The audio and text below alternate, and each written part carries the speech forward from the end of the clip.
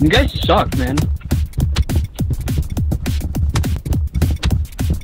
I have a score of almost 300. Wait, Steve, I'm gonna die, please. Sorry. I am dying.